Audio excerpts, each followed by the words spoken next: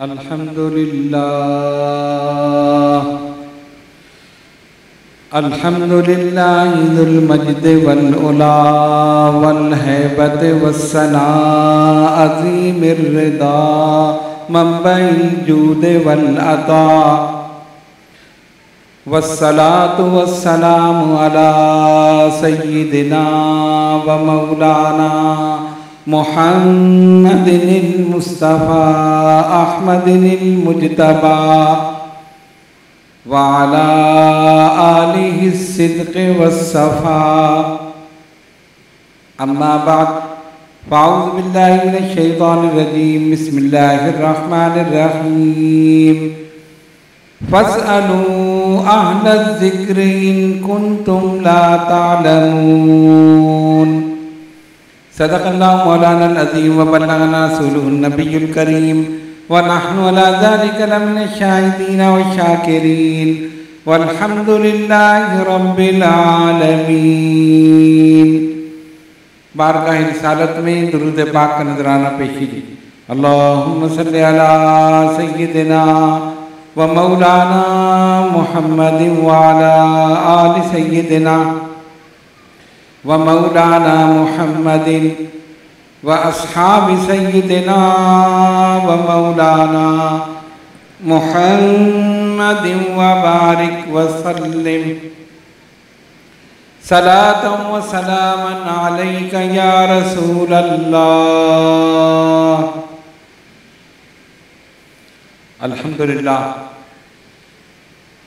हमारे इस नौ रोज़ा प्रोग्राम का आज चौथा दिन है और इन ताला आज आपके सामने तकलीद की ज़रूरत और अहमियत पर गुफ्तु होगी।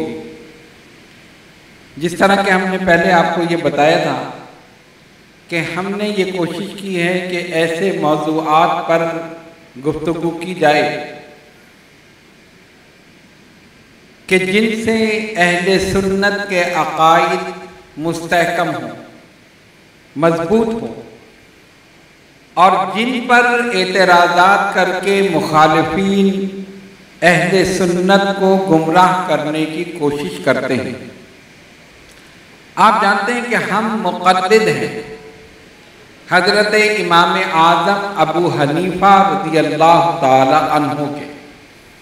इसलिए हम हनफी कहलाते हैं। चार इमाम फ़िका के, जिनके मानने वाले इस वक्त पूरी दुनिया में मौजूद हैं। हनफी, शाफई, मालकी और हम्बल पूरी दुनिया में। और ये सब अहले सुन्नत हैं और ये सारे मसालिक अपनी जगह दुरुस्त हैं।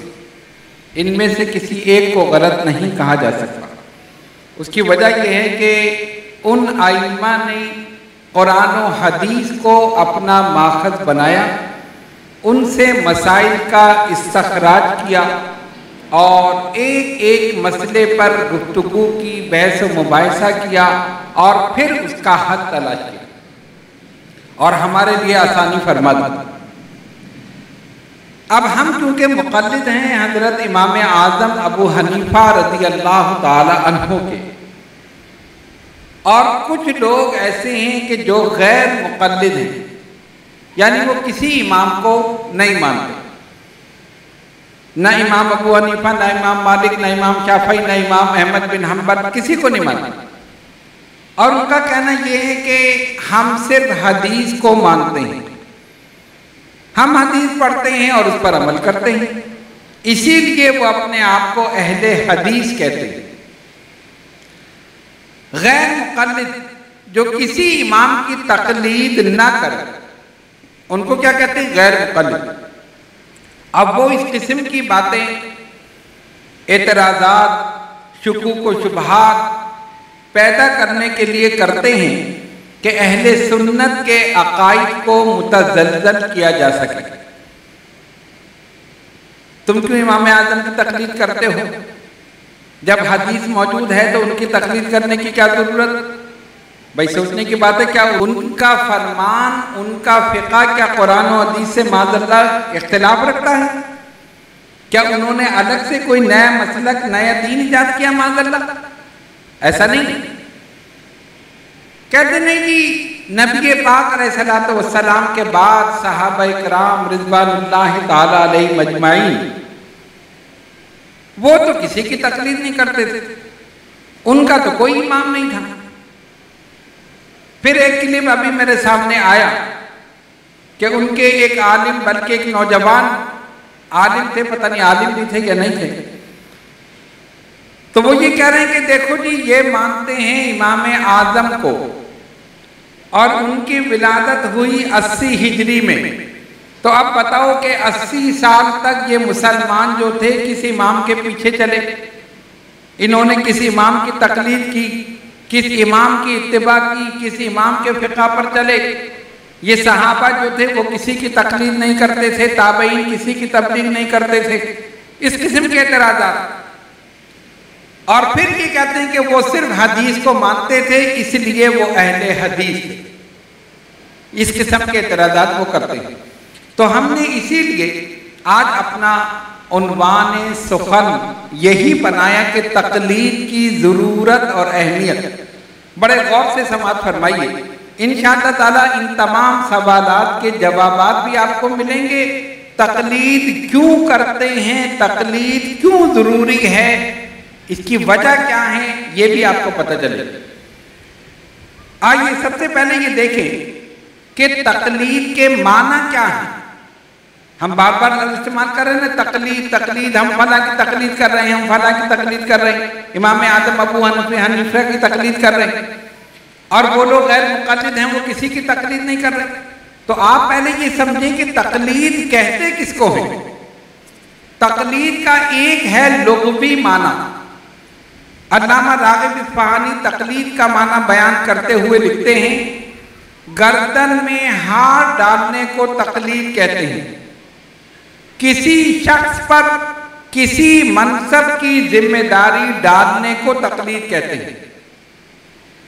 किसी चीज़ के अहाते को भी तकलीफ़ कहते हैं। जिस तरह के कुरान करीम में इर्शाद हुआ, लहू मकानी समावात वल अर्थ अल्लाह ताला आसमानों ज़मीन का अहाता किए हुए। अब ये तो हुआ उसका लुगवी माना।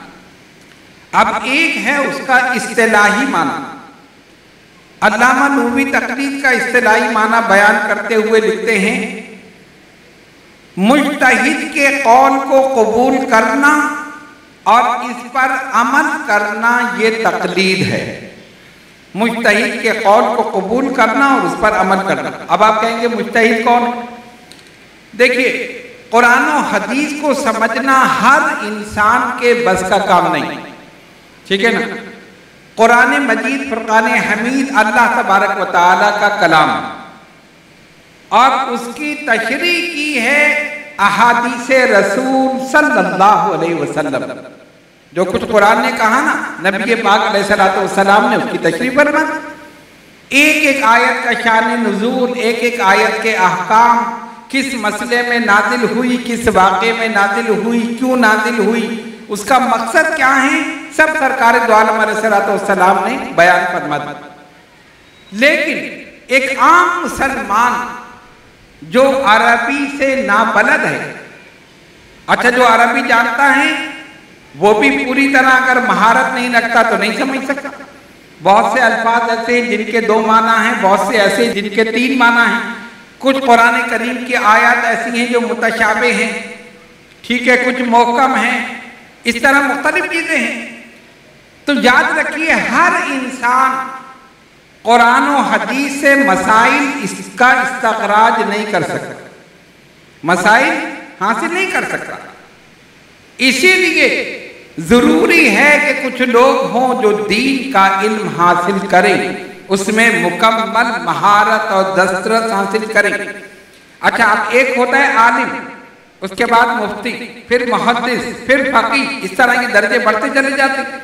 जिसने जिस फ़ील्ड में मेहनत की, वो उसी में आगे बढ़ गए। और अगर उसने मुकम्मल तमाम चीज़ों पर अबूर हासिल कर लिया, कुरान पर उसको मुकम्मल अबूर है, अहादीस पर मुकम्मल अबूर है, अहादीस की असनाद वो जानता है, अहादीस की सेहत वो जानता है, अहादीस के दर्जे को जानता है कि ये हदीस हसन है ये गरीब है, हसन लिजात ही, हसन गैर ही, जो भी उसके दर्जे हैं। तो फिर वो मुस्तहिद कहलाता। जब मुकम्मल अबूर हासिल कर ले। अब क्या है? अब वो इश्तेहाद कर सकता है। जो नए मसाइल पेश आए ना तो वो अपनी तरफ़ से वो इश्तेहाद कर सकता है। उस पर तकलीद वाजिब नहीं, वो खुद मुश्तहिद है। अब क्या है? लेकिन आम मुसलमानों पर तकलीद वाजिब है, लाजिम है, ज़रूरी है। आप किसी के पीछे चलें, किसी को फॉलो करें, किसी को अपना रहबर बनाएँ, किसी को अपना रहनुमा बनाएँ, ये लाजिम है। वरना आप कैसे अमल करें? आप सोचे ना, कुरान हदीस पर अहकाम पर आप कैसे अमल कर सकते हैं? तो इसका इस्तेलाही माना, जो अल्लामा नबी ने बयान फरमाया फरमाते मुश्तहिद के कौल को कबूल करना और इस पर अमल करना ये तकलीद है। ये क्या है? तकलीद है। अब आपने समझ लिया? मुश्तहिद के कौल को सुनना, उस पर अमल करना, ये क्या है? तकलीद है।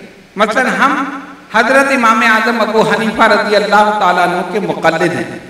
उन्होंने फ़िका के जो जो उसूल मुरतब किए जो जो चीज़ें उन्होंने बताई जो जो चीज़ें उन्होंने समझाई, उस पर हम अमल करते हैं, आँख बंद कर कर अमल करते हम उनकी ज़ात पर ब्लैंक फेस करते ठीक है ना? अब देखिए, इन लोगों का कहना क्या है? ये कहते नहीं कि तकलीफ़ ज़रूरी नहीं है। हमारे लिए कुरान काफ़ी है, हमारे लिए हदीस काफ़ी है। आपके अंदर इतना इल्म है कि आप कुरान से बर रास्त मसाइल निकाल सकें। क्या आप इतना इल्म रखते हैं कि अहादीस से बर रास्त मसाइल का इस्तखराज कर सके? नहीं। इसलिए लाजिम है, ज़रूरी है कि किसी न किसी के पीछे चला जाए। किसी न किसी के पीछे चला जाए। अब आइए, कुरान करीम में अल्लाह तबारक वाली ने भी यही हुक्म दिया कि तुम किसी के पीछे चलो। पहले हम कुरान करीम की आयत आपके सामने पेश करेंगे, जिससे ये पता चलेगा कि तकलीद क्यों ज़रूरी है, हम किसी के पीछे क्यों चलते हैं? हम किसी की इतात और फरमा बरदारी मसाइल में क्यों करते हैं? सूरह नहल, अल्लाह तबारक इशाद फरमाता है फस अलू अहल ज़िक्र, इन कुन तुम ला पूछो अहले ज़िक्र से, अगर तुम नहीं जानते। पूछो, अहले ज़िक्र। मुराद अहले इल्म है।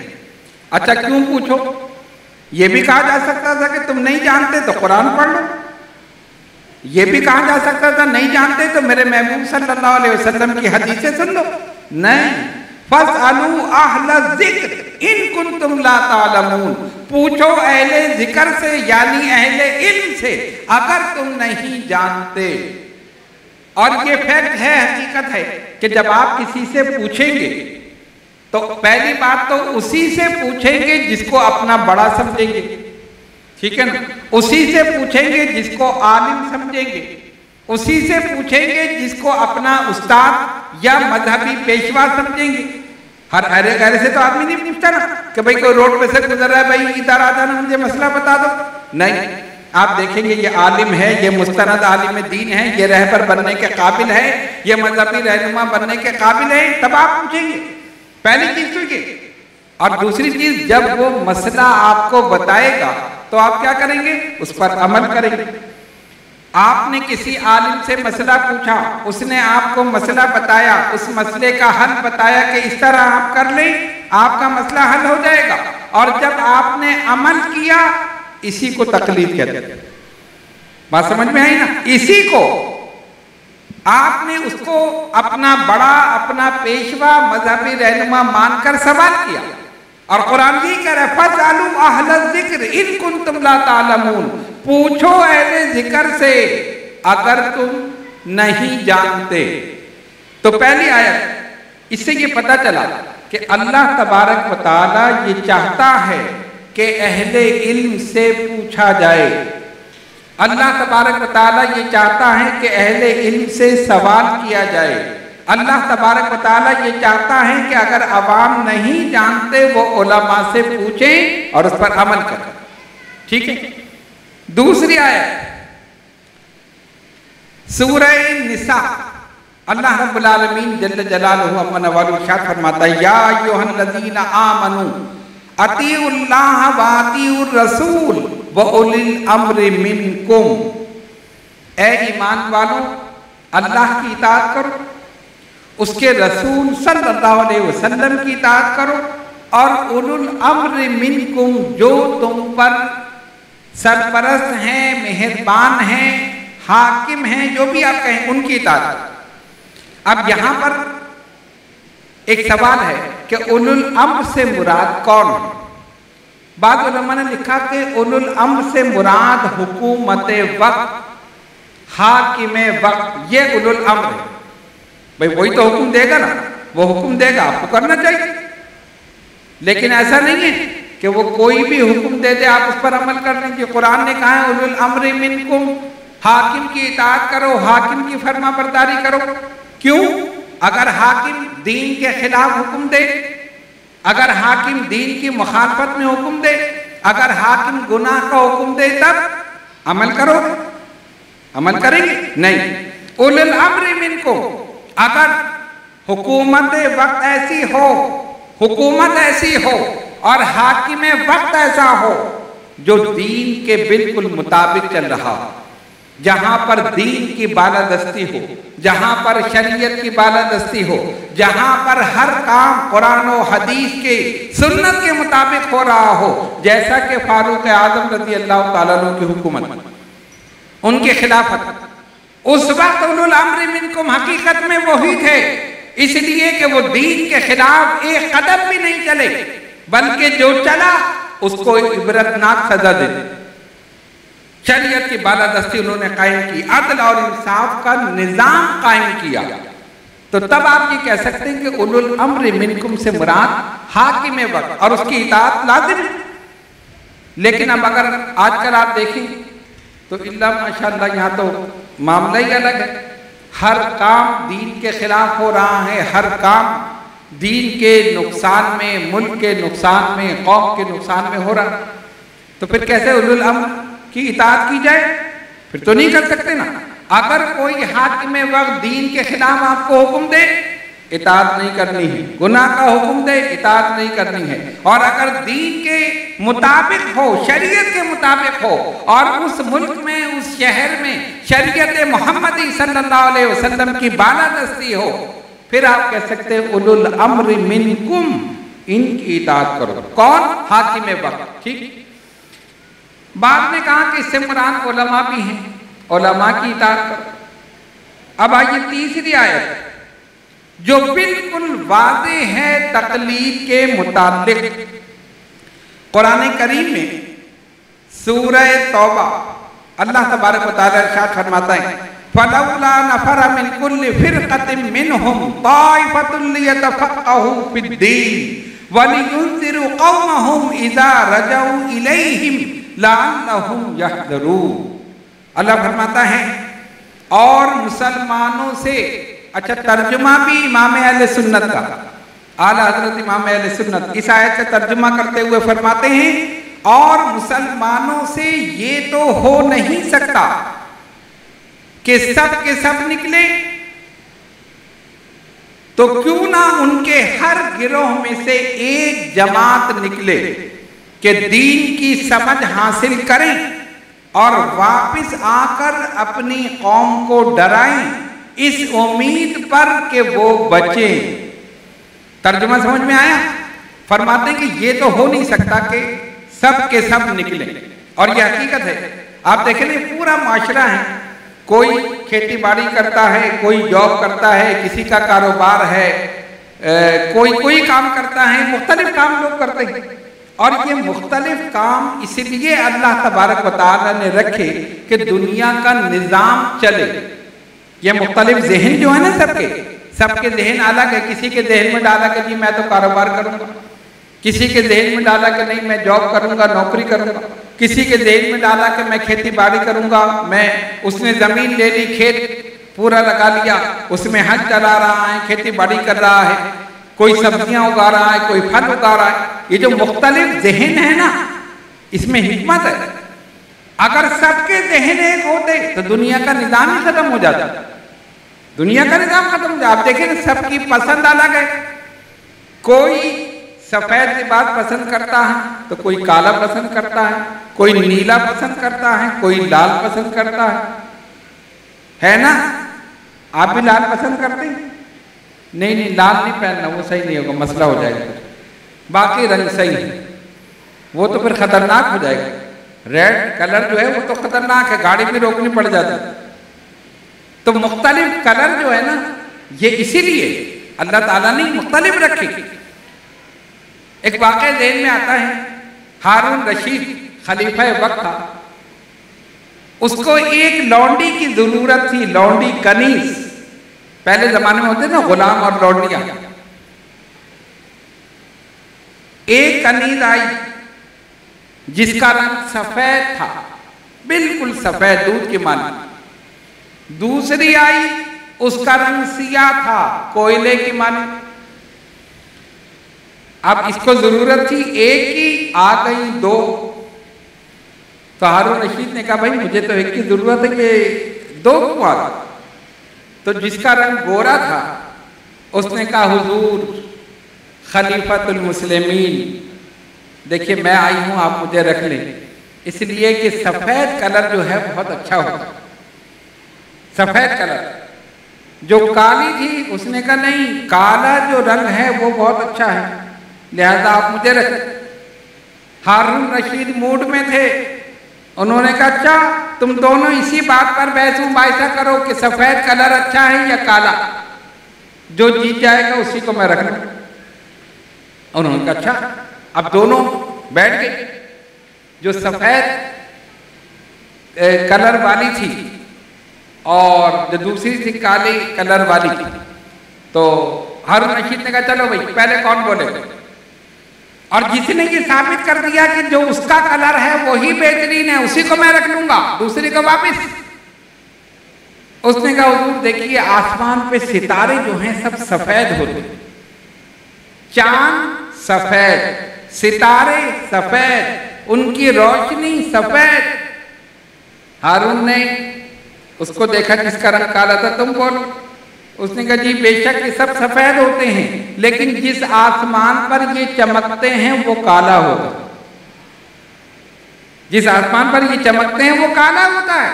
और हकीकत है कि अगर काला ना हो तो सफ़ेद की सफेदी पता चलेगी। भाई, सफ़ेद बादल पे सफ़ेद चाँद ढूँढने में कितना मसला होता है? होता है ना कभी मतला पर आलू दो तो चाँद ही नज़र नहीं आता बेचारे रोहित लाल वाले चश्मे लगा लगा के देख रहे लेकिन नज़र नहीं आ रहा। आखिर में कहते चलो भाई, शहादत मौसूल हो गई, हो गया हो गया। खैर, बहरहाल तो वो इसीलिए चमकते हैं कि वो आसमान सिया होता है। तो जो सफ़ेद कलर वाली थी, उसने कहा ये सितारे सफ़ेद, ये चाँद सफ़ेद तो जिसका रंग काला था, उसने कहा, बिल्कुल सही कह रही है, लेकिन जिस आसमान पर ये चमक रहे हैं, वो काला है। और काले की वजह से ही तो चमक रहे हैं। हारून ने कहा अच्छा बात तो सही है, तुम बताओ। उसने कहा, नबी पाक सलाम को सफ़ेद कलर बहुत पसंद था। अब उसने रोक इधर मोड़ दिया, सरकार की तरफ़। तो लिहाजा सफ़ेद कलर अच्छा है, आप मुझे रख लें। तो काली ने कहा, बेशक सफ़ेद कलर पसंद था, लेकिन हुजूर की जो चादर मुबारक थी, वो काली थी। चादर मुबारक कमली, जिसे कहते हैं ना, वो काली थी। हारून फिर परेशान हूँ अब क्या करें? फिर उससे कहा, चलो तुम बोलो। उसने कहा, सरकार का चेहरा मुबारक सफ़ेद था। काली ने कहा, लेकिन जुल्फे हुजूर की काली थी। खैर, ये तो बहुत लंबा वो चला। आखिर उसने तंग आकर कहा, चलो, मैंने दोनों को रख लिया। ठीक है, जाओ। मैंने दोनों को रख लिया। समझ में आई ना बात? ये मैंने इसलिए सुना दिया आपकी खुश तबाही के लिए कि थोड़े से आप लोग मेंटली तौर पर रिलैक्स हो जाए। एक तो मसला ये है कि आप लोग आते बहुत देर से।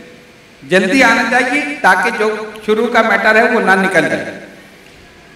तो बात कहाँ से चली? कोई बताएगा? नहीं पता। यही मसला है। बात कहाँ से चली? आला हज़रत इमाम सुन्नत ने फरमाया, तमाम लोग नहीं निकल सकते। और ये हकीकत है ना, हर आदमी इल्म दीन हासिल नहीं कर सकता, हर आदमी मुफ्ती नहीं बन सकता, हर आदमी फकी नहीं बन सकता, हर आदमी मुश्ताहिद नहीं बन सकता। तो तर्जुमा उन्होंने यही किया, और मुसलमानों से ये हो नहीं सकता कि वो सब के सब निकले। तो क्यों ना हर गिरोह से एक जमात निकले?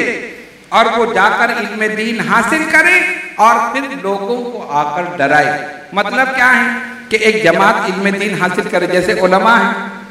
अब ये इल्म दीन हासिल करते हैं, उसके बाद आकर लोगों को बताते हैं अहकाम समझाते हैं। शरीयत के अहकाम, फ़िका के अहकाम, ये मसला यूँ है, ये मसला यूँ है। ठीक है?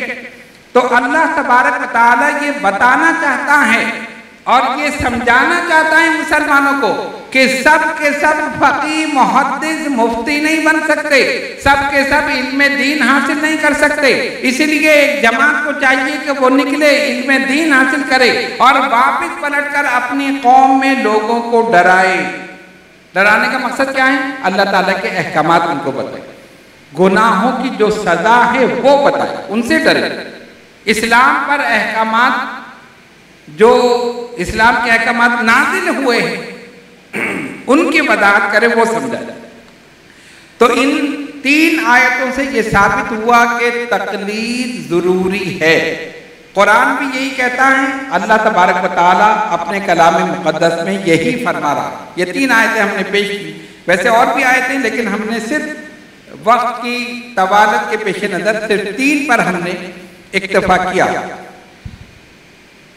अब आइए अहादीस मुबारक। सबसे पहली चीज़ क्या है? कुरान। उसके बाद हदीस।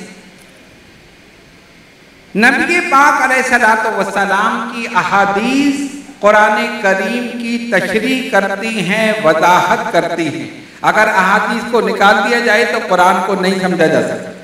कुरान को समझना है तो सरकार की अहादीस को पढ़ना है। ये तशरी हो रही है।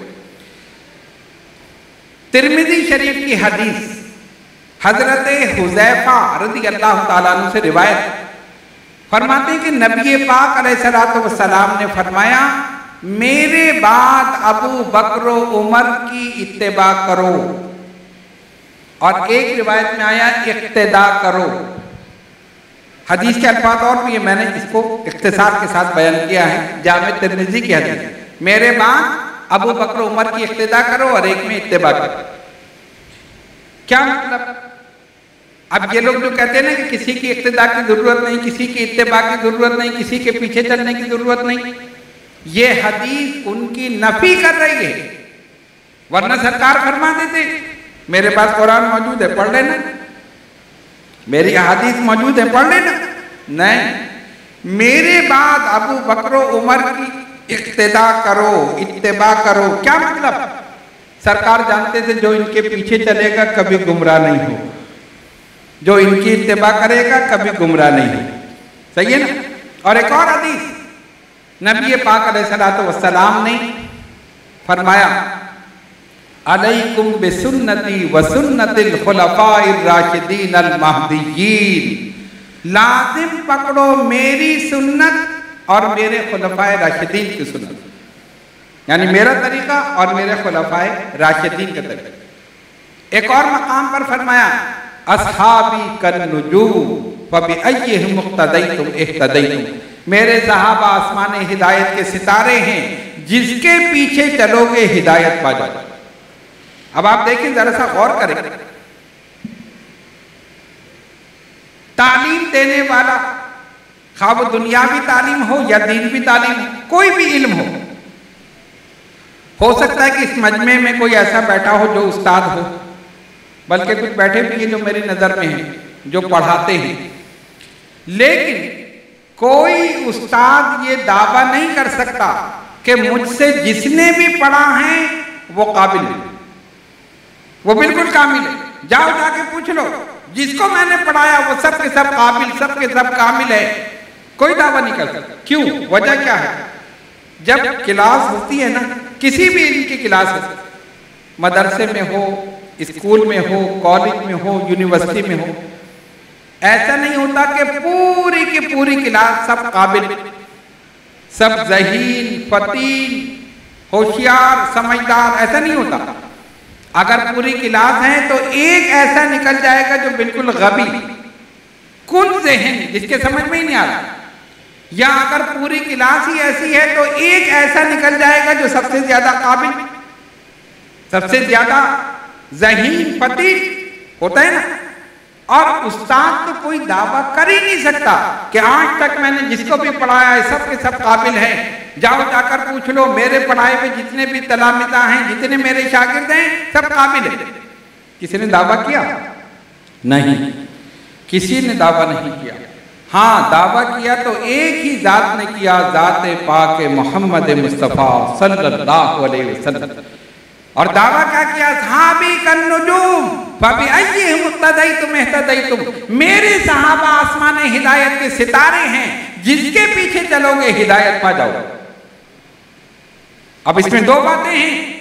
एक बात तो ये है, आका ये बताना चाहते हैं, मेरी शान ये है जो कोई मेरी महफिल में आया, वही कामिल बन गए। जिस पर निगाहें नबूवत पड़ गई, वही कामिल हो गया। और दूसरी बात ये बताना चाहते हैं कि मुझे अपने सहाबा पर इतना इतमाद है कि तुम जिसकी पैरवी करोगे, हिदायत पा जाओगे। मेरे सहाबा कभी गुमराह नहीं होंगे। मेरे सहाबा गुमराह नहीं होंगे। जिसके पीछे चलोगे, हिदायत पा जाओ। वरना होता है ना? कि भाई एक साहब है नहीं नहीं, उनके पीछे नहीं जाना वो फला साहब है हाँ उनसे गलती हो गई, उन्होंने सही नहीं पढ़ा। चलो, उनसे नहीं पूछना, किसी और से पूछ लेना। नहीं आका ने बबा के दोहर फरमाया, असहाबी कन्नुजूम फबि अय्यिहिम मुक्तदईतुम इहतदईतुम मेरे सारे सहाबा आसमान हिदायत के सितारे हैं, जिसके पीछे चलोगे हिदायत पा जाओ। इसीलिए शायद ने लिखा, मोहम्मद मुस्तफ़ा के बाद आली शान वाले हैं। यही अल्लाह वाले हैं, यही कुरान वाले हैं। नबी का दीन इस्लाम चमकाया जमाने में। जिन्होंने कलमे तौहीद फैलाया जमाने जिन्होंने कलमे तौहीद फैलाया जमाने में। कुरान ने कहा रदी अल्लाह वरद ये अल्लाह से राज़ी हो गए, अल्लाह इनसे राज़ी हो। कितनी बड़ी सनद उनको मिली। बारह कहने का मकसद ये है कि सहाबा का मकाम बहुत बुलंद है।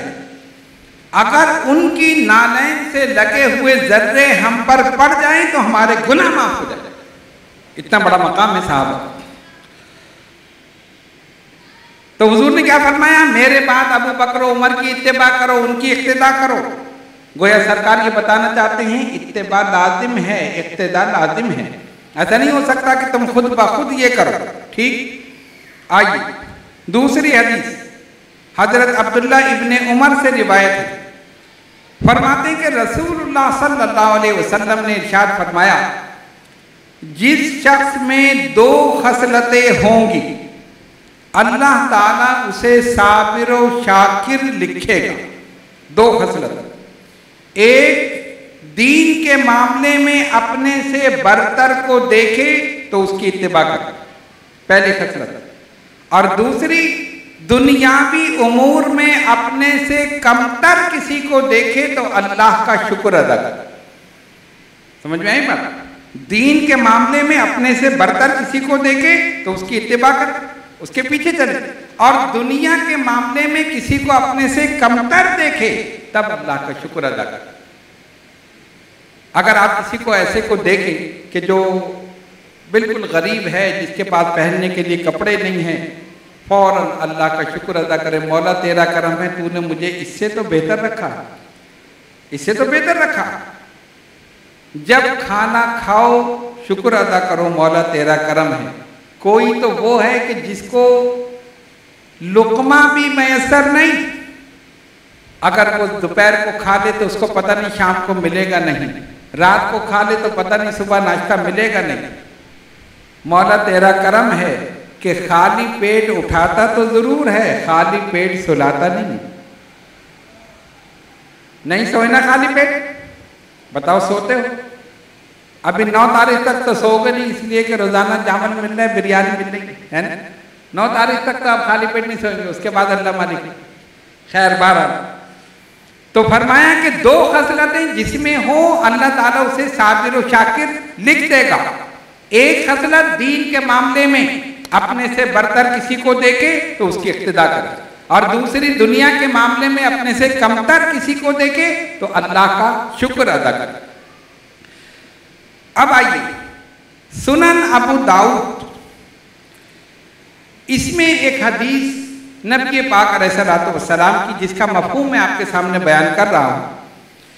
सरकार ने फरमाया, अल्लाह ताला इस उम्मत के लिए हर सदी की इब्तदा में एक ऐसे शख्स को भेजेगा जो इस उम्मत के लिए दीन की तजदीद करेगा।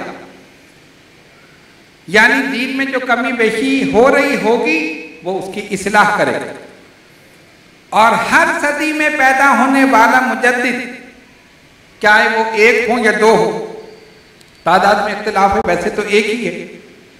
उससे किसी को इनकार हो सकता है, लेकिन ये बात अपनी जगह मुसलम है और ये फैक्ट है, ये हकीकत है कि उस वक्त जो भी उलमा, जो भी सुलहा, जो भी फुकाहा मौजूद होंगे, जब वो मुजद्दिद आएगा तो सबको उसी की इतबा करनी होगी। सबको उसी की इतबा करनी होगी। और ये अल्लाह ताला का बड़ा करम है कि अल्लाह तबारक वाली हर सदी में एक मुजद्दिद उसने पैदा किया। क्योंकि सौ साल में जैसे फितने पैदा होते हैं, लोग दीन का नक्शा बिगाड़ने की कोशिश करते हैं। मिसाल के तौर पर, बर्र सगीर में जब अकबर बादशाह की हुकूमत आई तो उसने दीन इलाही ईजाद किया। क्या ईजाद किया? दीन इलाही।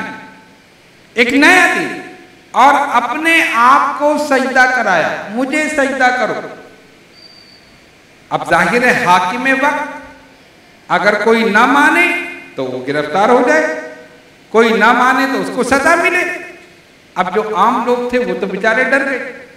और जिनके ईमान कमज़ोर थे, वो भी उसके पीछे चल पड़े। लेकिन कुछ ऐसे भी थे, जिनके ईमान मज़बूत थे। उन्होंने कहा, नहीं, अल्लाह के सिवा किसी को सजदा नहीं। अल्लाह के सिवा हम किसी को सजदा नहीं करेंगे। बड़े बड़े ओलमा बड़े बड़े सोलहा बड़े बड़े फुकाहा बादशाह वक्त के सामने खड़े होने से डर रहे थे। अल्लाह ने एक मर्द कलंदर पैदा किया। इमाम रब्बानी, मुजद्दिद अल्फसानी, शेख अहमद सरहंदी फारूकी बादशाह के सामने डट गए और उसको जाकर उसकी गुमराहियों के मुतालिक बताया, जो कुछ तू कह रहा है, ये गलत है। सजदा सिर्फ़ और सिर्फ़ अल्लाह के लिए है, उसके अलावा किसी के लिए नहीं। आपको कैद कर दिया गया। कैदोबंद की सोबतें बर्दाश्त की। लेकिन आपके इस आलम हिदायत आलम जिहाद बुलंद करने की वजह से कितने लोग थे जो कि वहाँ से हटकर सही तौर पर दीन इस्लाम पर गामजन हो गए। देखा ना कि एक मर्द कलंदर खड़ा है। ना आपने उसके रौब की परवाह की, ना उसकी हुकूमत की परवाह की, ना उसके इख्तियार की परवाह की, ना उसके इख्तदार की परवाह की। सिर्फ़ और सिर्फ़ ये देखा कि अल्लाह उसके रसूल सल्लल्लाहु अलैहि वसल्लम का हुक्म क्या है? शरीयत मोहम्मदी सल्लल्लाहु अलैहि वसल्लम का हुक्म क्या है? उसके सामने डट गए। इसी को अल्लामा इकबाल ने कहा, हाजिर हुआ मैं शेख मुजद्दिद की लहज पर। वो खाक के है जेर फलक मतलय अनबार उस खाक के जर्रों से हैं शर्मिंदा सितारे। उस खाक में पोशीदा है वो साहिब असरार गर्दन न झुकी जिसकी जहांगीर के आगे, जिसके नफसे गर्म से है वो गर्म ये वो हिंद में सरमाए मिल्लत का निगहबान, अल्लाह ने बर्वक्त किया जिसको खबरदार। ये मुजद्दिद अल्फसानी का कारनामा था। कि आपने हुकूमत वक्त के सामने झुकने के बजाय आप सीना सपर हो गए। खड़े हो गए और बमांगे दोहर उसको ललकारा और उसकी गुमराहियों और उसकी फितना सामानियों का बेनकाब किया और लोगों को बताया कि दीन का सही नक्शा ये है और जो ये पेश कर रहा है वो बिल्कुल गलत और देखने वालों ने देखा कि आपके इस जरूरतमंदाना एकदम से कितने लोग थे जो गुमराही से बचकर हिदायत की तरफ़ गामजन हो गए? ये है मुजद्दिद का काम कि जब फितने पैदा होते हैं, अल्लाह तबारक हर सदी में एक मुजद्दिद पैदा कर देता है। और वो मुजद्दिद अपने अमन से, अपने कौल से दीन की तजदीद करता है और दीन में जो गलत चीज़ें राइट हों, उनके खिलाफ वो आवाज़ उठाता है और उनको एक तरफ़ करता है। और दीन का सही नक्शा लोगों के सामने पेश करता है।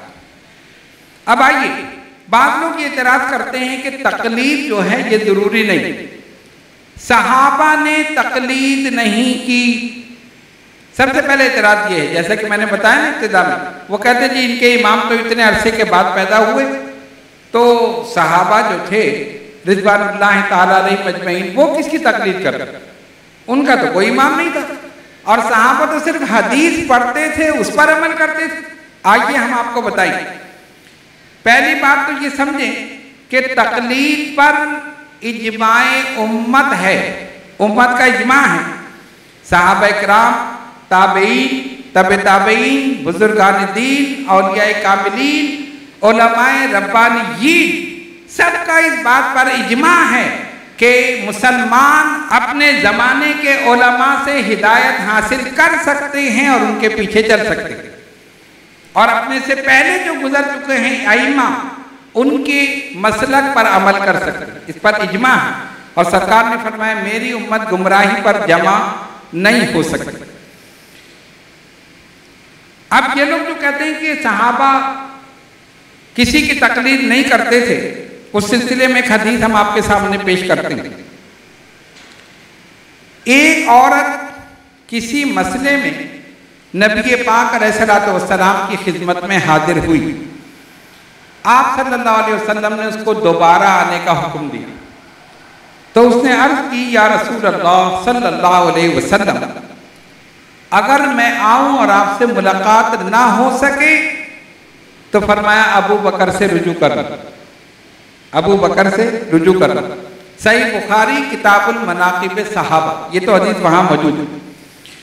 दूसरी हदीस, मदीने तैयबा के रहने वाले जो थे, उन्होंने हज़रत इब्ने अब्बास से एक मसला पूछा। एक औरत को एक मसला पेश आया था, उन्होंने वो उनके सामने पेश किया। हज़रत इब्ने अब्बास ने उसका जवाब दे दिया। तो लोगों ने कहा हम जैद बिन साबित के फतवे को छोड़कर आपके फतवे पर क्यों अमल करें? हम जैद बिन साबित रज़ी अल्लाह उनके फतवे को छोड़कर आपके फतवे पर क्यों अमल करें? अब इससे क्या बात साबित हुई? हज़रत जैद बिन साबित भी फतवा देते थे, हज़रत इब्ने अब्बास भी फतवा देते। ठीक है ना? लोग मानते थे। उनसे मसले पूछते थे, वो बताते थे, लोग अमल करते थे। इससे ये पता चला कि सहाबा के दौर में भी तकलीद होती थी। समझ आई बात? अगर ना होती, जैसे कि आजकल के ये अहले हदीस कहते हैं, जी, हदीस काफ़ी है। तो सहाबा तो ज़्यादा हदीस जानते थे। भाई, वो तो हजूर की बारगाह में रहते थे। बरह रास्त सरकार की हदीस को सुनते थे। और जो हदीस है, उन्होंने नहीं सुनी, दीगर सहाबा ने भी पहुँचा दी। सब थी उनके पास, लेकिन उसके बावजूद वो ये जानते थे कि जो सहाबा हमसे ज़्यादा इल्म रखते हैं, उनसे हमें पूछना है और उनके पीछे चलना। बात समझ में आई? तो मदीने तैयबा के लोगों ने जब इनसे मसला मालूम किया और इन्होंने बताया तो उन्होंने क्या कहा? हम जैद बिन साबित के फतवे को छोड़कर आपके फतवे पर अमल नहीं कर सकते। इसका मतलब ये कि वो हज़रत जैद बिन साबित रज़ी अल्लाह के फतवे पर अमल करते थे। तीसरी बात, नबी पाक सलाम ने हज़रत माज बिन जबल रज़ी अल्लाह सरकार के जलील कदर साहबी, उनको यमन का गवर्नर बनाकर भेजा। यमन एक इलाका है, शहर। जब भेजा तो अकन से पूछा मास अगर तुम्हारे पास कोई मसला आए कोई नया मसला आ जाए तो तुम उसका हल कैसे करो यानी एक इम्तिहान लेने के लिए उनसे सवाल किया। उनको भेज रहे हैं ना यमन गवर्नर बनाकर। हज़रत माज बिन जबल रज़ी अल्लाह ने अर्ज़ की, या रसूल अल्लाह सल्लल्लाहु अलैहि वसल्लम, फिदा का उम्मी व अबी। हुजूर, मेरे माँ बाप आप पे कुर्बान। जब मेरे पास कोई ऐसा मसला आएगा, यानी कोई नया मसला पुराने मसले तो सबके हाथ मौजूद है। मैं सबसे पहले किताबुल्लाह को देखूँगा। कुरान मजीद, फुरकान हमीद मैं उसमें तलाश करूँ। अगर नहीं तो फिर सुन्नत रसूलुल्लाह सल्लल्लाहु अलैहि वसल्लम सरकार आपकी सुन्नत। और अगर उसमें नहीं मिला, फिर मैं अपने इश्तेहाद से फैसला करूँगा। हुजूर सलाम ये सुनकर खुश हुए। आपने अपना दस्ते मुबारक उनके सीने अकदस पर फेर दिया और फरमाया, खुदा का शुक्र है कि उसने तुम्हें इस बात की तौफीक दी जिसको मैं पसंद करता हूँ। खुदा का शुक्र है कि उसने तुम्हें इस बात की तौफीक दी जिसको मैं पसंद करता हूँ। अब देखिए, इस हदीस शरीफ से कई चीज़ें साबित हुई। पहली चीज़ तो यह साबित हुई कि मुसलमानों के लिए हर चीज़ का माखद और मर्जा जो है वो कुरान करीम ठीक है ना? हम जो भी मसला देखते हैं ना, हम कुरान से देखते हैं। कुरान अल्लाह की किताब है, कुरान अथेंटिक है। जो हो चुका है वो कुरान में है, जो हो रहा है वो कुरान में है, जो आइंदा होने वाला है वो कुरान में है। दरियाओं का ज़िक्र कुरान में है, समंदरों का ज़िक्र कुरान में है, नहरों का ज़िक्र कुरान में है, पहाड़ों का ज़िक्र कुरान में है। कुरान में रातें भी हैं, दिन भी, कुरान में शयातीन भी हैं, जिन भी। अरे कौन सी चीज़ है जो कुरान में नहीं? तमाम उलूम का माखद और मर्जा और खजाना जो है, वो किताबुल्लाह है, कुरान मजीद, फुरकान अमीद ठीक है ना? तो सबसे पहले कुरान हज़रत माज बिन जबल रज़ी अल्लाह ने फरमाया, मैं पहले किताबुल्लाह को देखू। कुरान करीम, अगर उसमें नहीं तो फिर आपकी सुन्नत सुन्नत रसूलुल्लाह सल्लल्लाहु अलैहि वसल्लम। अब कोई मसला ऐसा भी हो सकता है। अब, आप देखते हैं जैसे कि नए नए मसाइल पेश आ रहे हैं। पहले हम ऊंटों पर सफ़र करते थे, खच्चरों पर, घोड़ों पर, अब जहाजों में सफ़र कर रहे ठीक है सवारी पर नमाज़ का मसला। अगर घोड़े पे जा रहे हैं तो उसको रोक लिया, नमाज़ पढ़ ली किबला किधर है, इधर कर लिया, ठीक है? और अगर रेल में जा रहे हैं तो उसमें भी देख लिया, और अगर जहाज़ में जा रहे हैं तब, और रेल में आपने नियत बाँध ली और किबला इधर था और रेल इधर मुड़ गई, तब क्या करें? ये नए मसाइल है ना सर? कितने मसाइल हैं? एक तो नहीं, बेशुमार मसाइल। तो ये जितने भी मसाइल हैं ओलमा की ज़िम्मेदारी है, उन्होंने इसको हल किया। अपने इन के ज़रिए, अपने इश्तेहाद के ज़रिए।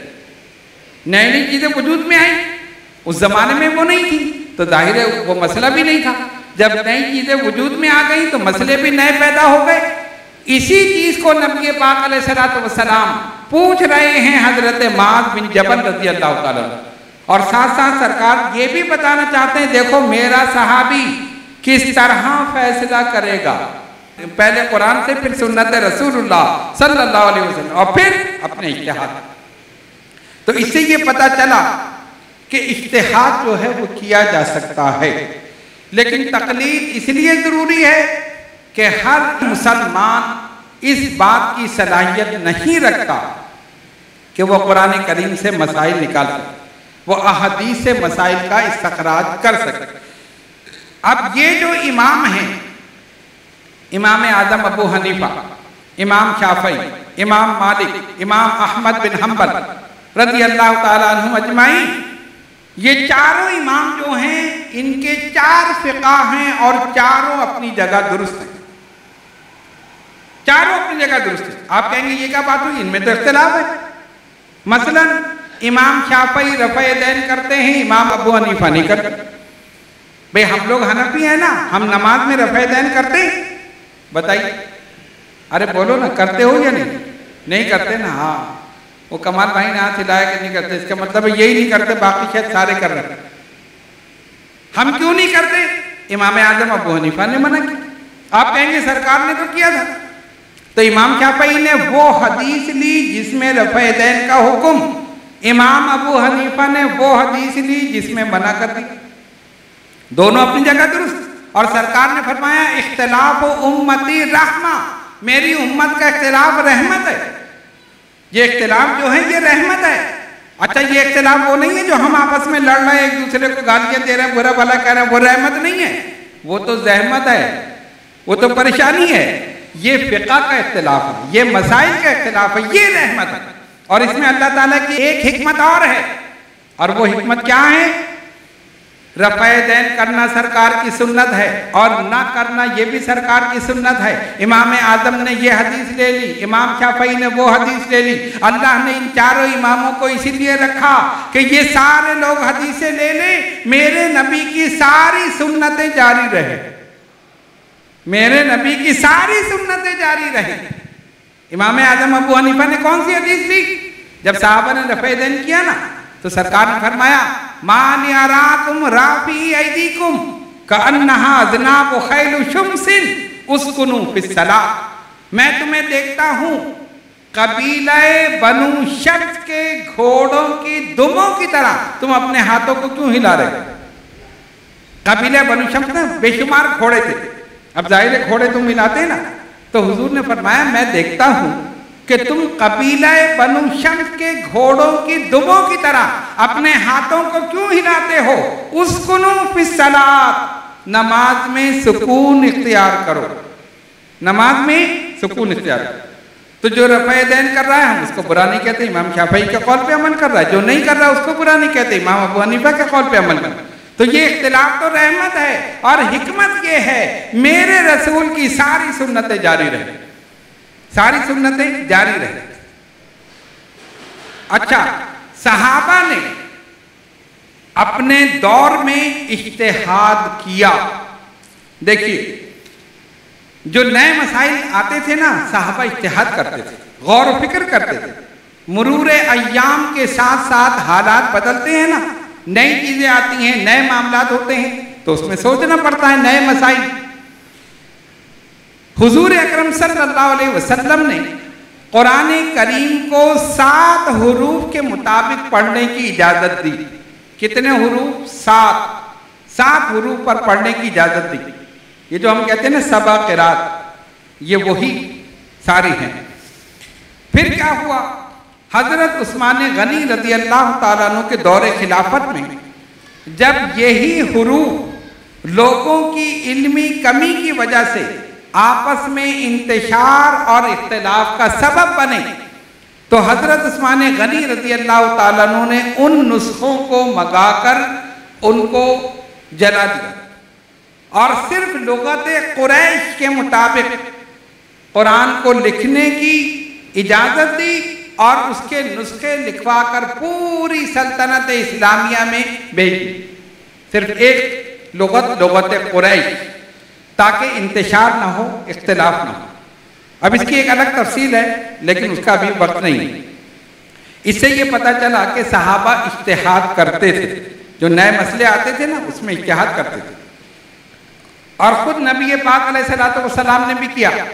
मसलन सरकार ये चाहते थे कि बैतुल्लाह को मिसमार करके, यानी उसको ज़यीफ करके, दोबारा से बिना इब्राहिमी पर तामीर कर, नहीं तामीर करें। लेकिन फिर सरकार ने कहा, नहीं, जो है इसको छोड़ दो। जब लोगों ने पूछा, फरमाया, मुझे अंदेशा है कि अगर मैंने ऐसा किया तो फिर इसको तोड़ना, बनाना तोड़ना, बनाना, ये खेल हो जाएगा। और जो भी आएगा, वो दोबारा से बनाने की कोशिश करेगा। आप देखते ना, अब जो हरम है हरम की तोसी हुई ना? मसलन, शाह फहद का दौर आया तो उन्होंने बाबे फहद बना दिया पूरी इमारत बना दी एयर कंडीशन शाह अब्दुल्ला का दौर आया तो उन्होंने बाबे अब्दुल्ला बना दिया, उस तरफ़ सफ़ा मरबा की दूसरी तरफ़ उन्होंने बना यानी जिसका दौर आया, वो चाहते हैं कि मेरा नाम हो, मैं कुछ करूँ? तो सरकार आलम वसलाम फरमाते हैं, मैं चाहता था कि काबे को बिना इब्राहिमी पर कर दूँ। लेकिन इस डर से मैंने ऐसा नहीं किया कि अगर मैंने इसको तोड़ा, फिर बनाया तो ये तोड़ना, बनाना लोगों के लिए खेल हो जाएगा। फिर जो भी आएगा, वो यही कोशिश करेगा, मैं तोड़ के और अच्छी तरह बनाना। और होता ये, वो कहते और दीवारें ऊँची कर दो, कोई कहता संगे मरमर लगा दो, कोई कहता ये कर बारह। अच्छा सहाबा रिजवान मजमाइन, उन्होंने भी इश्तेहाद किया और जो नए मसाइल आए थे जिससे दीन को फ़ायदा हो, दीन की तशीर हो, दीन की शान नज़र आए, उन्होंने उस पर अमल किया। मिसाल के तौर पर सैदना फारूक आज़म रज़ी अल्लाह तु के दौर में तरावी की जमात पहली मरतबा हुई। यह आप सब जानते हैं।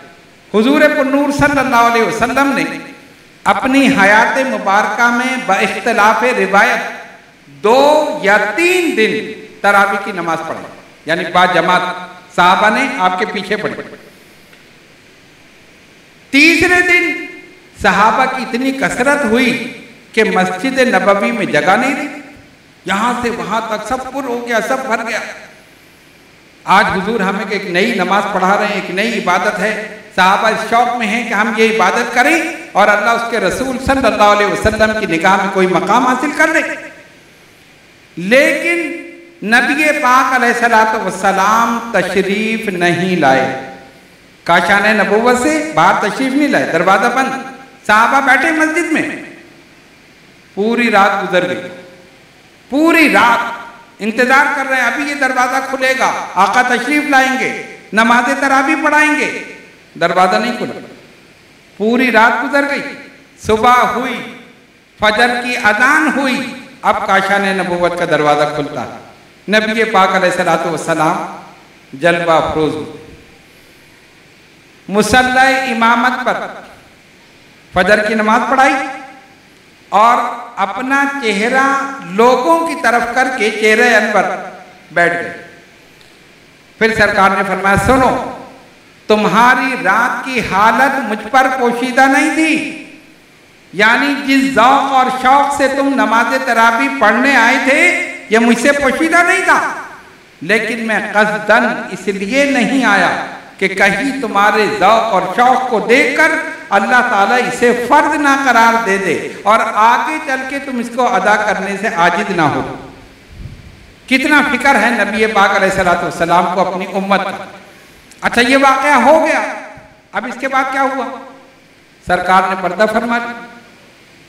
फिर दौर आया सैयदना अबू बकर सिद्दीक रज़ी अल्लाह इसी तरह तरावी हुई। कोई जमात नहीं हुई। दो चार इधर है तो दो उधर है, तीन इधर है। अलग अलग। एक इमाम के पीछे नहीं। सब अपनी अपनी तरह भी पढ़ रहे हैं। कोई इधर कोई इधर कोई इधर। उनका विशाल हो गया। फिर दौर आया फारूक आज़म रज़ी अल्लाह तला और उनकी सीरत आप उठाकर देखें जितने कारनामे उन्होंने अंजाम दिए हैं, सब तजदीदी हैं, तजदीदी। नए कारनामे और ऐसे कारनामे हैं कि उनका फ़ायदा आज तक पहुँच रहा है। पुलिस का महकमा फारूक आज़म ने कायम किया। जेल खाने फारूक आज़म ने कायम किए। बैतुल माल फारूक आज़म ने कायम किया। मुसाफिरों के लिए मुसाफिर खाने फारूक आज़म ने कायम किए। जानवरों के लिए चरागाहें फारूक आज़म ने कायम की। नहरों का निज़ाम फारूक आज़म ने बनाया। अदलिया को मज़बूत फारूक आज़म ने किया। सारी चीज़ें उन्होंने की। ये तो चंद मैंने आपके सामने बयान तो जब आपका दौर आया रमज़ान मुबारक का महीना आया तो आपने देखा कि दो सहाबा इधर है, दो इधर है, चार उधर है, सब तरावी पढ़ रहे। तो आपने क्या किया? सहाबा की एक मीटिंग की, बुलाया जलील कदर साहबा और उनसे ये कहा कि मैं ये देखता हूँ कि ये सब के सब जो हैं, मुंतशिर होकर तरावी पढ़ रहे एक इमाम के पीछे नहीं अलग अलग तो क्या ही अच्छा हो कि अगर हम में से कोई एक इमाम बन जाए, हम सब मुख्तदी बन जाए। इस्लाम की शान नज़र आए इतिहाद और यगानगत का मुजाहरा हो। कितनी अच्छी बात। सबने कहा बात सही। अच्छा उसकी असल तो मौजूद थी। कोई नया काम नहीं था। हुजूर सलाम ये कर चुके थे। सरकार ने बाजमात पढ़ाई थी तो एक दलील भी मौजूद थी। तमाम साहब ने कहा ये ठीक तो हज़रत उबई बिन काब रज़ी अल्लाह जो हाफिज कुरान भी थे और कारी कुरान भी थे। अल्लाह ने उनको बेहतरीन आवाज़ अता फरमाई। फारूक आज़म ने उनको बुलाया। फरमाया, उबई, तुम हमारे इमाम बन जाओ, हम सब तुम्हारे मुख्तदी बन जाए उन्होंने कहा, ठीक तो वो खड़े हो गए मुसल्ला इमामत पर। तो सैयदना फारूक आज़म के दौर में पहली मरतबा तरावी की बाकायदा जमात हुई। आपकी शहादत हुई तो उस्मान गनी का दौर आया रज़ी अल्लाह उनके दौर में हुई। हज़रत अली शेर खुदा रज़ी अल्लाह को दौर आया, उनके दौर में हुई। और रिवायत में आता है कि मौला कायनात हज़रत अली शेर खुदा रदी अल्लाह रमज़ान के महीने में जब मस्जिद के आगे से गुजरे तो अंदर से कुरान पढ़ने की आवाज़ आ रही तरावी लोग पढ़ रहे हैं। अली शेर खुदा की आँखों से आँसू जारी हुए और अपने दस्ते मुबारक उठाए। फरमाया उमरा, कमा मसाजिद अल्लाह बिल कुरान। अल्लाह, उमर की कब्र को अपने नूर से रोशन कर दे, जिसने तेरी मस्जिदों को कुरान से रोशन कर दिया तेरी मस्जिदों को कुरान से रोशन कर दिया है। और नबी पाक सलाम ने फरमाया, जिसने दीन में कोई ऐसा तरीका ईजाद किया, जो दीन के लिए माविन हो, जो दीन की तशहर का बाइस हो, जो दीन के लिए मददगार हो तो जितना सवाब अमल करने वाले को, उतना ही उसके जारी करने वाले। बिला तजबी और तमसील और बिला शुबा। सैयदना फारूक आज़म रज़ी अल्लाह ने अपने दौर में तरावी की बाकायदा जमात का अहतमाम किया, जो उस वक्त से लेकर आज तक हो रही है। और इन ताला क़यामत तक होती रहेगी। क़यामत तक इसका सवाब फारूक आज़म की रूए मुबारक को पहुँचे। फारूक आज़म की रूए मुबारक को पहुँचता रहे और आप देख लें, हकीकत है, तरावी रमज़ान की शान है। तरावी रमज़ान की जान है। तरावी रमज़ान की पहचान है। अगर तरावी को रमज़ान से निकाल दिया जाए तो क्या बचेगा? चाँद होता है ना, सबसे पहला काम हम क्या करते हैं? सबके रुख मस्जिद की तरफ़। जितने भी हैं, सब मस्जिद की तरफ़ जा रहे हैं। कुरान पढ़ा जा रहा है, कोई दस तारीख को खत्म कर रहा है तो कोई पंद्रह को, कोई बीस को, कोई पच्चीस को, कोई सत्ताईस को। पूरे महीने हर तरफ़ से कलाम इलाही की आवाज़ आ रही है। कुरान पढ़ने की आवाज़ आ रही है। और मैं ये कहता हूँ, अगर हम अल्लाह के गजब से बचे हुए हैं तो इसीलिए कि रमज़ान में कसरत के साथ कुरान पढ़ा जाए। इसकी बरकतें हैं, इसकी रहमतें हैं। तो ये तजदीदी काम हुआ या नहीं हुआ? फारूक आज़म ने इश्तेहार किया और फिर सहाबा का इस पर इजमा हुआ कि हाँ ये होना चाहिए। वो काम उस वक्त से जारी है और इंशाला ता कयामत जारी रहेगा। इसमें हम सब के लिए भी एक सबक है। कि हम वो काम करें जो सदक़ जारिया हो। सदक़ जारिया। मस्जिद में आपने पैसा लगा दिया। मस्जिद में कोई मुसल्ला बिछा दिया। मस्जिद की तामीर में हिस्सा ले लिया। जब तक मस्जिद कायम रहेगी, सवाब जारी रहे। लोगों के लिए कुआँ खुलवा दिया। लोग उससे पानी ले रहे हैं। जब तक पानी निकलता रहेगा, लोग पीते रहेंगे, सवाब जारी रहे। इसी तरह बहुत सारे काम हैं। तो ऐसे काम तलाश कीजिए जो सदका जारिया हो। हम दुनिया से चले जाएँ, लेकिन सवाब जारी रहे। और इसी में एक बात मैं और कह दूँ। सरकार ने फरमाया, औ नेक औलाद भी सदका जारिया नेक औलाद, अगर आज अपने, आपने अपनी औलाद की सही परवरिश की और उसको नमाजी बना दिया, आप दुनिया से चले जाएँगे। और आज दुनिया में नमाज़ पढ़ेगी, सवाब आपको खबर में मिलता रहे। आपने उसको सच बोलना सिखा दिया। आपने उसको दीन के अहकाम सिखा दिए। आपने उसके दिल में अल्लाह, उसके रसूल सल्लल्लाहु अलैहि वसल्लम की सच्ची मोहब्बत पैदा कर दी। दुनिया से आप चले जाएँगे, वो इस दुनिया में अल्लाह उसके रसूल से मोहब्बत करेगा, उनकी इतात करेगा फर्मा बरदारी करेगा, दीन पर चलेगा। वालदेन को कबर में सवाब मिलता रहे। तो अपनी औलाद की सही परवरिश की कीजिए। तो अब पता ये चला कि सहाबा कराम रिजवान उन्होंने तजदीदी काम किए, इश्तहाद किया और फिर सहाबा का इजमा हुआ तो फिर उस अमल को जारी कर अब आइए थोड़ी सी सीरत हज़रत इमाम आज़म अबू हनीफा रज़ी अल्लाह की भी बयान कर दी जाए, क्योंकि हम उनके मुकलद हैं, हम उनको अपना इमाम मानते हैं, हम उनके फ़िका पर अमल करते हैं। ये जो लोग कहते हैं ना जी, इमामों के पीछे मत जाओ, हदीस काफ़ी है, कुरान काफ़ी है। क्या ज़रूरत है कि तुम इमाम आज़म अबू हनीफा को मानो, इमाम शाफी को मानो, इमाम मालिक को, इमाम अहमद बिन अम्बल को? हमने कहा, सुनो, ये चारों इमाम जो हैं, इन्होंने कुरान से हटकर कोई बात नहीं की है। जितने मसाइल इन्होंने इस्तखराज किया मसाइल का, कुरान और हदीस से किया। उसके खिलाफ नहीं किया है।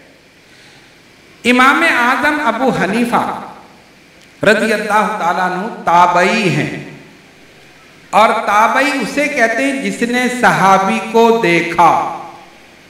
बहुत बड़ा इजाज है किसी सहाबी की जियारत करना। देखो, हुजूर सलाम को देखने वाला सहाबी सहाबी को देखने वाला ताबई ताबई को देखने वाला तबे तब और हुजूर सलाम ने फरमाया खैरुल कुरून मेरा जमाना तमाम जमानों में बेहतर। मेरा जमाना तमाम जमानों में बेहतर।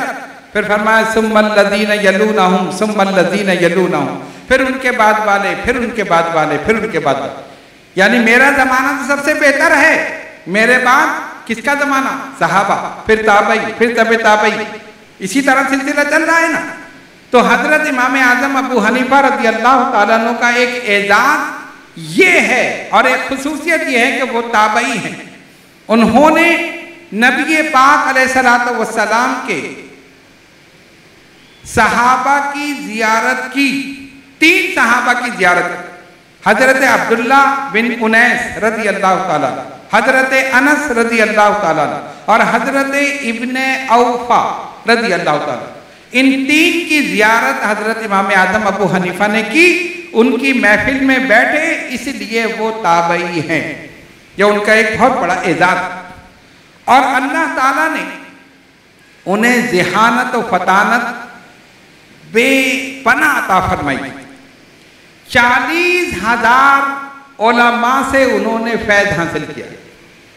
इमाम आज़म अबू हनीफा ने चालीस हज़ार ओलमा मशाइक बड़े बड़े अपने वक्त के जैद उलमा, फुकहा, इमाम, उनसे फैद हासिल किया, उनसे अहदीस हासिल की और नहायत एहतियात के साथ फिर अपने इस मसलक को, मसलक हनफी को मुदवन किया और एक एक मसले को गौर करके, बहस मुबासा करके, अहदीस और कुरान की रोशनी में फिर जाकर उसको लिखा।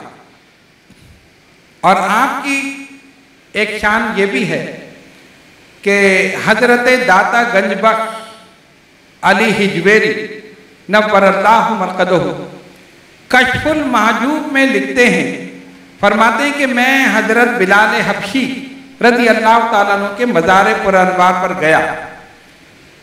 तो वहाँ मैं जब बैठा तो मुझे नींद आ गई। एक कैफियत तारी हुई, नींद आ गई। तो मैंने ख्वाब में देखा कि आकाए तो जहाँ वसल्लम तशरीफ़ ला रहे हैं और एक बूढ़े शख्स को अपनी गोद में उठाए किसी बच्चे को नहीं, एक बूढ़े शख्स को हुजूर अपनी गोद में उठाए हुए हैं। अलैहि वसल्लम। दाता साहब फरमाते हैं कि मैंने देखा, मैं हैरान हुआ। मैंने अर्ज़ की, या रसूल अल्लाह सल्लल्लाहु अलैहि वसल्लम, ये कौन खुश नसीब है जिसको आपने अपनी गोद में लिया हुआ है? फरमाया, सैयद अली, तुम नहीं जानते कौन है? ये तुम्हारा इमाम अबू हनीफा है। ये तुम्हारा इमाम अबू हनीफा है। फरमाते हैं उस वक्त से मैं समझ गया कि इमाम अबू हनीफा खुद नहीं चल रहे हुजूर उनको चला रहे। सरकार उनको लेकर चल रहे ये शान है इमाम आज़म अबू हनीफा रज़ी अल्लाह तु अल्लाह ने उनको बला का हाफजा जहानत फतानत अता फरमाई। एक मरतबा एक शख्स ने अपनी दो बीवियों को तलाक दे दी। दो बीवियाँ थी। और कमाल ये था कि दोनों को एक ही घर में रखा था। दो तलवारें तो एक घर में नहीं रह सकती। मुश्किल है। लेकिन खैर उसने ये किया, एक को ऊपर, एक को नीचे। चलो फिर भी गुजारा हो सकता अब क्या हुआ? साहब बहादुर जब आए तो ऊपर जाने लगे तो नीचे वाली ने टांग पकड़ी, कहाँ जा रहे हो? नीचे आओ। ऊपर वाली ने देख लिया, उसने दौड़ के हाथ पकड़ लिया, उसने कहा, नहीं, ऊपर आओ। अब बीच में फंस गए। ऊपर वाली कहती है, ऊपर आओ। नीचे वाली कहती है, नीचे जाओ। अब ये बीच में वो ऊपर हाथ पकड़ के खींच रही है तो ये नीचे टांग पकड़ के खींच रही बड़े परेशान हुए, गुस्सा आ गया। अब गुस्से में ऊपर देखा कहा ऊपर तेरे पास जाऊँ तो तुझ पे तीन तलाक और नीचे तेरे पास आऊँ तो तुझ पे तीन तलाक चलो, हो गया काम। उसने भी छोड़ दिया, इसने भी छोड़ दिया, कि ये तो मामला गलत हो गया। अब ये बीच में खड़े। अच्छा लोगों का तरीका भी यही है कि पहले तलाक दे देंगे, बाद में कहेंगे, जाओ लम्हा से पूछो, कोई सूरत निकल आए। फिर कहेंगे, सुना नहीं था, नहीं, मेरा इरादा नहीं था, मैं गुस्से में था तब ने कहा खुशी में तलाक देता है? ये बेगम, आज तुमने बहुत अच्छा काम किया, जाओ, तुम्हें तलाक तलाक तलाक। कभी ऐसा हुआ? किसी ने खुशी में तलाक दी? अरे, गुस्से में ही तो दे दे। बाद में पछताते कि क्या हो गया। तीर कमान से निकल गया। इसीलिए कहते सोच, समझ कर फैसला करो। बाद औरतें शौर को पकड़ के बैठ जाते, नहीं जी, तलाक दो तलाक दो। अब गुस्से में अगर उसने कह दिया तब? अब बाद मर्द जो है, वो कह देते। इसीलिए दोनों को चाहिए एतदाद का रास्ता इख्तियार करें, गुस्सा ना करें खास तौर पे इस मामले में। तलाक के मामले में बिल्कुल। ना औरत मांगे, ना मर्द दे। सही है ना? कभी मर्द देना नहीं चाहता तो औरत जिद करती है तो हो जाता उससे में उसने कह दिया तो हो गई। अब बाद में पछता रही है कि मैंने तो ऐसे ही कहा और वो भी कहता है, नहीं जी, मैंने तो गुस्से में की थी बारह। अब यहाँ मसला क्या हुआ? साहब बहादुर बीच में खड़े हैं, ऊपर जाते हैं तो ऊपर वाली पे तलाक नीचे आते हैं तो नीचे वाली पे तलाक अब क्या करें? लोगों को भेजा, जाओ दमा से पूछो। कोई सूरत ऐसी निकले कि दोनों तलाक से बच जाए? तो उस दौर के जितने ओलमा थे सबने लिखा नहीं। एक न एक पे तलाक हो। भाई, इसने कहा है ना, ऊपर वाली पे तलाक, नीचे वाली पे तलाक। तो अब ये यहाँ थोड़ी खड़ा रहेगा, या तो ऊपर जाएगा या नीचे जाएगा। जिसके पास ये गया, उसी पे तलाक आखिर में मसला आया इमाम आदम अबू हनीफा रदी अल्लाह तला के पास। आपने कहा, मसला क्या है? का हजूर, मसला ये है कि इसकी दो बीबियाँ थी, एक ऊपर थी, एक नीचे थी, ये आया, जीने पे चढ़ा, नीचे वाली ने टांग पकड़ी, नीचे आ जाओ इधर, ऊपर वाली ने हाथ पकड़ा, ऊपर आ जाओ, इसको गुस्सा आया। इसने कहा, मैं ऊपर तेरे पास जाऊँ, तुझ पे तलाक, नीचे तेरे पास आऊँ, तुझ पे तलाक। फरमाया, किसी को तलाक नहीं होगी। लोग हैरान की कैसे? ओलमा ने कहा, भाई ये क्या हो गया? इमाम अबू हनीफा क्या कर रहे कहा, नहीं, किसी को तलाक नहीं होगी। क्यों नहीं होगी? अरे, ये बड़े बड़े ओलमा, इराक, शाम और बगदाद, कहाँ कहाँ के ओलमा, सबने लिख दिया। इमाम आदम ने फरमाया, भाई, मैं कह रहा हूँ, किसी को नहीं होगी तलाक, दोनों बच जाएँगी। कैसे? कहा, इसके अल्फाज देखो, अल्फाज क्या हैं? का अल्फाज ये हैं कि ऊपर तेरे पास जाऊँ तो तुझ पे तलाक, और नीचे तेरे पास आऊँ तो तुझ पे तलाक। फरमाया, ये कहा ना ऊपर तेरे पास जाऊँ ये कहा ना और ये कहा नीचे तेरे पास तो जो ऊपर है उसको नीचे ले आओ, जो नीचे है उसको ऊपर ले जाओ। ये ऊपर जाए, नीचे जाए, कहीं भी जाए, किसी पे तलाक नहीं ये है इमाम अबू हनीफा रज़ी अल्लाह का। इल्म ये उनकी जहानत और फतानत, इस तरह के कितने वाकयात हैं। इसीलिए उस दौर के ओलमा ने जब ये देखा और आपके दिए हुए फतवों को देखा कि सारे ओलमाए शाम, इराक एक तरफ़ और इमाम अबू हनीफा का फतवा और फैसला एक तरफ़, उस दौर के ओलमा ने कहा, अल्लाह ने इल्म और फजल के जो दरवाजे इमाम अबू हनीफा के कल्ब और जहन पर खोले हैं, खुदा की कसम किसी पर नहीं खोले। अल्लाह का खास करम है इनके ऊपर। और उस दौर के उलमा ने आपको इमाम आज़म कहा। यह हमारे इमाम। एक इमाम ने फरमाया, अगर इमाम आज़म का इल्म जानना चाहते हो तो ये समझ लो, उनका इल्म ऐसा था कि अगर वो लोहे को सोना बनाना चाहें तो अपने इल्म से ये साबित कर सकते थे कि ये सोना एक मिसाल उन्होंने दी, इतना बड़ा उनका इल्म था। और ऐसी उनकी जहानत और फतानत थी। और अल्लाह ताला ने तकवा और परहेजगारी भी उनको अता फरमाई। कपड़े की तिजारत करते थे, कपड़े की। एक खादिम आपकी दुकान पर था। कुछ माल ऐसा आया जो खराब था। थान आते ना कपड़े के? कुछ ऐसे होते जिसमें कोई दाग है, कोई धब्बा है, या वैसे कोई नक्श है, कहीं से फटा हुआ है, या कपड़ा बुनते में कोई उसमें खराबी हो गई। इमाम साहब ने फरमाया, देखो, ये जो थान रखे हैं, इनमें खराबी है। और इस तरफ़ जो रखे हैं, वो बिल्कुल दुरुस्त लिहाजा ये वाले थान जब तुम बेचो तो जो खरीदने आए, उसे पूरी पूरी कैफियत बता दे जो कहा का है ना, उसे बता देना, इसमें यह खराबी ठीक? आप चले गए काम से। एक गाहक आया किसी दूसरे मुल्क से। उसने आकर पूछा, खादिम ने वो कई थान जो थे वो बेच दिए या एक थान बेचा, लेकिन उसका नुक्स, उसका ऐब उसको नहीं बताया। वो लेकर चला गया। अब इमाम आज़म अबू हनीफा रज़ी अल्लाह तशरीफ़ लाए तो उसने खुश होकर बताया, हजूर, मैंने वो बेच दिया और बहुत अच्छे दामों में बिका। फरमाया, अच्छे दामों में कैसे बिका? उसमें तो खराबी थी। हाँ मैंने बगैर बताए बेच दिया देखिए, हमें फ़ायदा हुआ। अगर मैं बता देता तो वो कीमत कम देता। मैंने उसको नहीं बताया और उसने कीमत ज़्यादा दे दी। आपको बड़ा अफसोस हुआ। पहले तो आपने लोगों को दौड़ाया कि देखो, वो आदमी कहाँ तक गया है। जहाँ तक भी गया, उसको वापस बुलाओ और उसको सही सूरत हाल बताओ। लेकिन लोगों ने देखा, उन्होंने कहा, नहीं, वो तो किसी और शहर से आया था। वो तो नज़र भी नहीं आ रहा। हो सकता है वो रवाना हो गया अब आप देखिए इमाम आज़म का तकवा।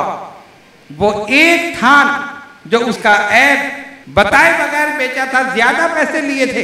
इमाम आज़म ने सत्तर थानों की कीमत जो थी अल्लाह की राह में खैरात कर सत्तर थानों की कीमत अल्लाह की राह में खैरात कर दी। और फिर भी माफ़ी मांगी, मौला मुझे माफ़ कर दे, ये गलती हो हालाँकि आपसे नहीं हुई थी, उस खादिम से हुई। ये है आपका तकवा और आपकी परहेजगारी। आपका हिल्म और बुर्दबारी देखी इमाम आज़म के वारिद का इंतकाल हुआ। तो एक बदबक शख्स जो आपसे बहुत ज़्यादा बुग्ज रखता था, आया आपके पास, आप एक रास्ते से गुजर रहे उसने कहा, अबू अनीफा मैंने सुना है तुम्हारे वालिद का इंतकाल हो गया। हाँ मेरे वालिद का इंतकाल हो तो ऐसा करो कि अपनी माँ का निकाह मुझसे कर दो। अब आप जरा सा गौर करें। कि किसी के साथ ये मसला हो और ये लफ्ज कहा जाए तो उसके दिल पर क्या कैफियत गुजरेगी? कितना सदमा उसको होगा और कितना गुस्सा उसको आएगा कि वो चाहे कि मैं इसका मुँह तोड़ दूँ। एक तो सदमा, वालिद का कि वालिद का साया सर से उठ गया और दूसरे से बदबक वो ये कह रहा है कि अपनी माँ का निकाह मुझसे कर दो। जितने लोग वहाँ खड़े थे, सब गुस्से में आ गए और देखने लगे कि देखो, अबू हनीफा क्या जवाब देते हैं? लेकिन कुर्बान जाओ उस हिल्म और बुर्दबारी के, कि इमाम आज़म ने एक नज़र उसको देखा, आपकी आँखों में आँसू ज़रूर आए, लेकिन सिर्फ़ इतना फरमाया, तुम जानते हो कि इद्दत में किसी को निकाह का पैगाम देना जायज़ नहीं है, मेरी माँ की इद्दत पूरी हो जाए, फिर हम देखेंगे। बस ये कह के आप आगे बढ़े, इतने में वो शख्स गश खा के गिरा और उसी वक्त मर गया। उसी वक्त मर गया। लोगों ने कहा वो हनीफा, देखो, वो तो मर गया। फरमाया कौन? कहा जिसने आपसे ये बदतमीजी की थी, ये गुस्ताखी की थी। फरमाया हाँ ये समझ रहा था कि अबू हनीफा अकेला है। मैं अकेला नहीं हूँ, मेरा रब मेरे साथ ये है हिल मरबुदबारी ये है उनके बिल्ला होने की दलील, अल्लाह की जात पर भरोसा था, हिल था बुर्दबारी थी। बदतमीजी और गुस्ताखी का जवाब भी इतने हिल और बुर्दबारी से दिया कि अल्लाह ने खुद बदला ले लिया और उसी वक्त वो गिरा उसका इंतकाल हो आपका तकवा ये था कि खलीफा वक्त ने आपसे कहा कि मैं आपको काजी कुजा, यानी आज की जबान में चीफ जस्टिस, उसका अहदा मैं आपको देता हूँ। इमाम आज़म ने इनकार कर दिया। इनकार की दो वजह थी, और बहुत सारी वजहें हो सकती हैं। एक वजह तो ये थी कि जब मैं इसके कहने से बनूँगा तो ये जिसको चाहेगा अपनी मर्ज़ी से मुझसे फैसला कराएगा। जिसको चाहे रिहा करवा दे, जिसको चाहे कैद करा दे। भाई होता यही ना, हाकिम वक्त ने बनाया, भाई हमने तुम्हें चीफ जस्टिस बनाया है, जो हम कह रहे हैं वही फैसला करो। यही होता है ना, आजकल भी यही हो रहा है कि रात में अदालतें खोलनी पड़े, लेकिन फैसला करो। बहुत सारी चीज़ें होती हैं, सब जानते कुछ कहने की ज़रूरत नहीं। खैर, बारह, एक तो ये वजह थी। दूसरी वजह ये थी, जो असल वजह थी, खशियत इलाही उनके दिल में रासिक हो चुकी थी।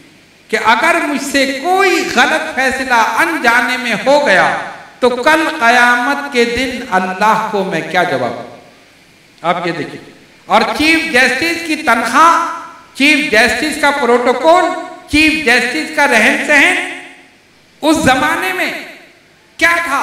और बादशाह के कहने से बनते तो फिर क्या होता? दूसरे बादशाह तो यही होते। आगे पीछे सिपाही होती हैं, हटो और बच्चों की सदाएँ होती जहाँ से गुजरते लोग देखते कि इमाम आज़म गुजर रहे हैं, चीफ जस्टिस गुजर रहे हैं, फला गुजर रहा। कहा, नहीं, मैं नहीं कर सकता। उसको गुस्सा आया। मेरा फैसला, मेरा हुक्म, कोई टाल दे, ये नहीं हो सकता। और याद रखिए, जो दौलत के नशे में होता है, जो इकतदार के नशे में होता है उसके दिल में इल्म की कोई कदर नहीं होती, तकवा परहेजगारी की कोई कदर नहीं होती, अहलुल्लाह की ओलमा की कोई हैसियत नहीं होती। वो सिर्फ़ ये चाहता है, जो मैं कहूँ वही हो जाए। उस खलीफा वक्त ने कहा, इनको कैद कर दो। आपको कैद कर दिया गया। रोज़ाना दुर्रे आपकी कमर पर लगाए जाते थे। खून बहता था बहते बहते पिंडलियों तक आ जाता था। फिर रोक दिया जाता, फिर पूछते, बताओ क्या कहते हो? फरमाया, मैं कबूल नहीं करूँगा. रोज़ाना इसी तरह होता रहा, न जाने कितनी तकालीफ आपने उठाई, और एक रिवायत के मुताबिक फिर आखिर में जहर का प्याला लाया गया, और कहा, इसे पी लो। इमाम आज़म ने फरमाया, नहीं, मैं खुदकशी नहीं करूँगा। मैं खुद अपनी जान को ख़त्म नहीं करूँगा, ये जहर है। खलीफा ने हुक्म दिया और ज़बरदस्ती वो जहर आपके मुँह में डाल दिया गया। जब आपने देखा कि जहर का असर शुरू हुआ, उसी वक्त अपनी पेशानी को ज़मीन में झुका दिया। सजदा किया, सुबहान रब्बी अलाला सुबहान रब्बी अलाला सुबहान रब्बी अलाला और आपकी रूह मुबारक परवाज कर।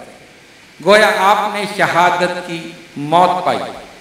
चालीस हज़ार से ज़्यादा अफराद ने आपकी नमाज़ जनाजा में शिरकत की और उसके बाद तीन दिन तक, और बाद लोगों ने लिखा कि 40 दिन तक आपकी कब्र अनवर की मट्टी से खुशबू आती रही। लोग वो मट्टी खुशबू के लिए ले जाते रहे और एक इमाम फरमाते हैं कि मैंने तीन दिन तक, इमाम आज़म के विसाल के बाद तीन दिन तक ये आवाज़ सुनी कि अब फिका रुखसत हो गया, अब कोई इमाम नहीं, फिका रुखसत हो गया। ये थी इमाम आज़म अबू हनीफा रज़ी अल्लाह तु की, अल्हम्दुलिल्लाह, हम उस इमाम के मुकलद हैं और मरते दम तक इन हनफी रहेंगे इसी पर कायम दायम रहेंगे जो लोग शुक्र को शुबात पैदा करते हैं और ये कहते हैं, किसी की तकलीफ़ की ज़रूरत नहीं। हमने इख्तसार के साथ आयात, अहादीस तो बहुत सारी हैं और की किताबें भरी पड़ी हैं, लेकिन इख्तसार के साथ चंद अहादीस, चंद आयात रब्बानी आपके सामने पेश की और ये साबित किया कि हुजूर सलाम के बाद सहाबा ने भी तकलीफ़ की, इश्तेहाद किया और जो उनसे ज़्यादा जानने वाले सहाबा थे, उनके फतवे पर सहाबा अमल करते अब्दुल्ला इब्ने मसूद का फतवा मदीने शरीफ में चलता था, हज़रत इब्ने अब्बास का फतवा चलता था। इसी तरह दीगर साहबा थे। तो तकलीफ़ बिल्कुल कुरान हदीस के मुताबिक जायज़ है। अल्हम्दुलिल्लाह हम हनफी हैं और कसीर तादाद में बुजुर्गान दीन और ये कामिलीन, इमाम अबू हनीफा के मुकलद हैं और हनफी हैं। इन क़यामत में भी उन्हीं के झंडे तले उठे। अल्लाह तबारक वाली हम सबको अमल की तोफ़ी अता फरमाएँ। इन फितनों से महफूज रखे और नबी पाक सलाम की सच्ची मोहब्बत हमारे दिलों में पैदा फरमाए। इसी मोहब्बत में ज़िंदा रहें और इसी मोहब्बत में मौत अता फरमाए। वाखिर दावाना अनिलहमदिल्ला रब्बिल आलमीन।